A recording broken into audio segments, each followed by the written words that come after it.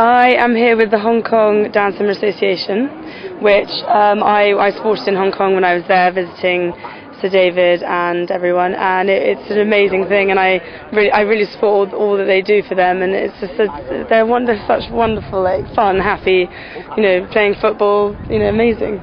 You were here today with Frank Lampard, and it's amazing the power of sport. Wherever you are in the world, football, everybody understands and talks about football. I was just in, I was just travelling, and everyone there always watches it. It's always on television. It's always around every corner. So even they all know exactly who Frank Lampard is. The world over, football is just it's just a common language.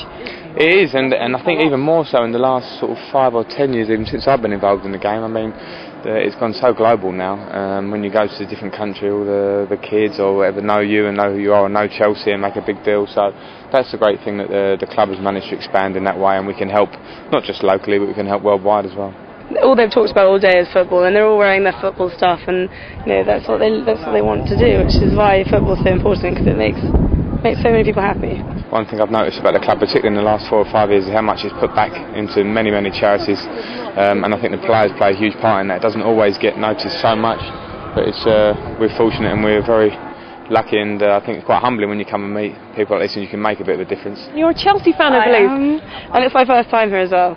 So I was just a bit like, wow. It's so, so much smaller than it actually looks on television, so I'm a bit like, but it's fun. FA Cup final this weekend. Are you going to be watching it wherever you are? Of course I am. Of course I am, with the Chelsea shirt on. and what's the score going to be? Got to get a prediction. I'm usually right at these. Um, 2 0.